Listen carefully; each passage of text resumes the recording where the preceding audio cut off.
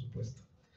Y a mis compañeros en la reunión que tuvimos en febrero para comentar este trabajo y a un hombre al que estimo horrores que se llama Frino, Jesús Antonio Rodríguez.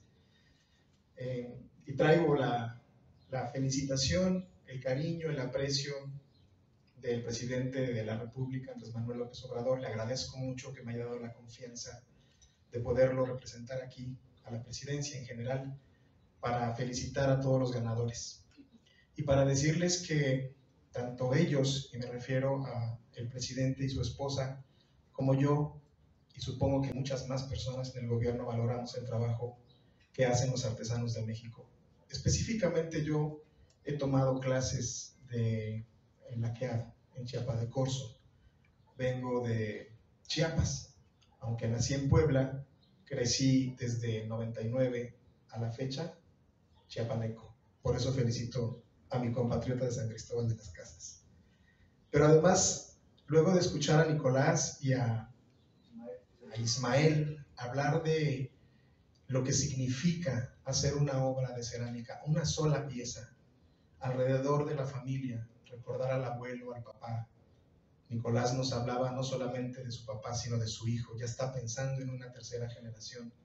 Me hace recordar a Gloria, que era la mamá, la, la madre grande, la abuela de estas señoras que me enseñaban a mí a laquear. Tengo una pequeña cruz que hice con mis propias manos y sé perfectamente bien el valor que tiene. No soy gente muy religiosa, pero esa pequeña pieza me hace tener mucha fe. Y luego pienso en algo más, a propósito de lo que decía Marina, eh, quiero comentarles. En eh, enero de este año hicimos un fandango por la lectura, ojalá que algunos de ustedes ya conozcan este proyecto que encabeza la esposa del presidente, en eh, el Palacio Nacional. Lo hicimos acompañado con la esposa de Joe Biden. Y ese día estaban leyendo cada uno en su, en su idioma indígena Nadia López García, que es una escritora indígena de nuestro país que conoce muy bien Frino, y también estaba el escritor Martín Tonayayotl, que escribe en náhuatl. Al terminar el evento, los dos nos dijeron, es increíble que estemos leyendo en nuestra propia lengua en Palacio Nacional. Y hoy cuando vengo a este lugar y conozco plazas en Cali, que debo aceptar, no conocía, y esta hermosa tienda, y está justo en un espacio como Los Pinos, de la cual muchos no sabíamos nada, entiendo que la familia está entrando a conocer estos espacios. Porque todos ellos, los ganadores, representan gente, familia, que nos han apoyado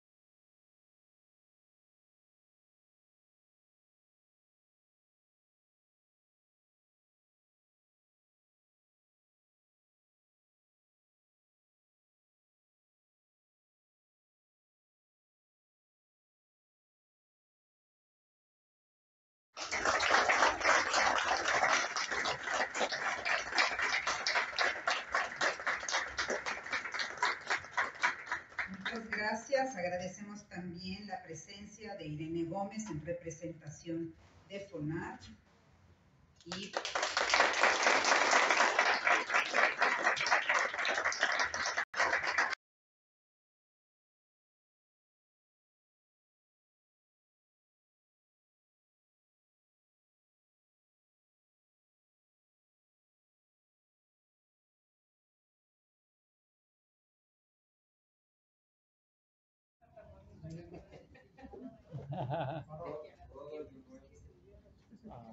El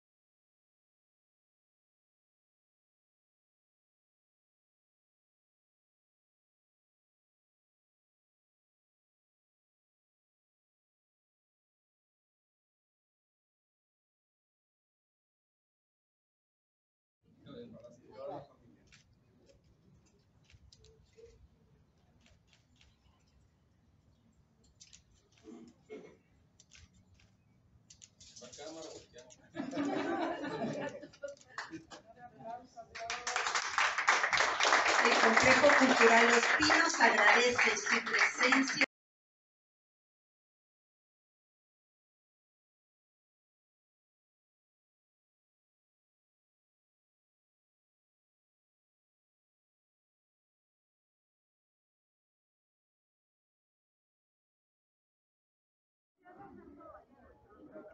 Eh, mi pieza fue un pato de cabeza ancha, eh, bruñido de del estado de Tlaxcala, es una técnica tradicional. Eh, ahorita el evento me queda claro que están trabajando para que nosotros los artesanos tengamos más oportunidades de ventas, de dar a conocer nuestro trabajo, ya que esto viene de generaciones. En mi caso, eh, yo no vengo de ninguna generación, eh, yo lo aprendí ya por parte de, de, mi pareja, lo aprendí y estoy promoviendo para que mis hijos sean la segunda generación de esto, ya que mi esposo igual empezó a trabajar sin, sin ningún, ninguna enseñanza. Somos la primera generación y esperemos que nuestra técnica y nuestro trabajo sea reconocido eh, en, tanto nacional como a nivel internacional, ya que es una técnica que también ya se está perdiendo, ya que pues como no hay mucho apoyo como tal, eh, se está perdiendo y ahorita he visto que, que, están intentando promover eso y me da gusto que sigan trabajando en eso.